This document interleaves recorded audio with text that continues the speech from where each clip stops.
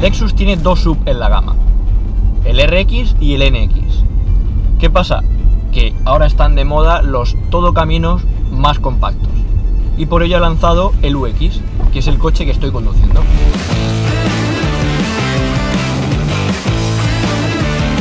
Como no podía ser de otra forma tratándose de Lexus, el coche es híbrido. Equipa un motor 2.0 de gasolina que es apoyado por dos motores eléctricos. Lo que más me ha gustado de él, pues eh, su diseño exterior, rompedor diferente a lo que hay en el segmento, muy Lexus, y sobre todo el diseño interior con un salpicadero en diferentes escalas, unos buenos materiales y unos eh, ajustes de calidad. Lo que menos, pues el cambio de variador continuo y sobre todo el maletero. Un maletero bastante justo para el tamaño del coche.